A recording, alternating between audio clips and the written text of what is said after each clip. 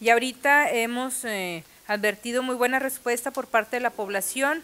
En el último reporte que obtuvimos ahorita del impuesto predial antes de subir a la rueda, eh, ya llevamos 600 mil pesos recaudados en, estes, en estas horas.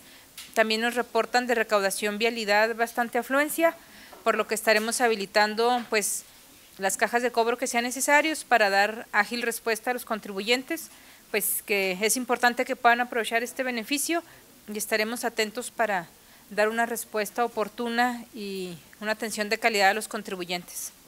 En recaudación vialidad, ahí hay cinco espacios, generalmente tenemos dos o tres cajas dependiendo de la afluencia.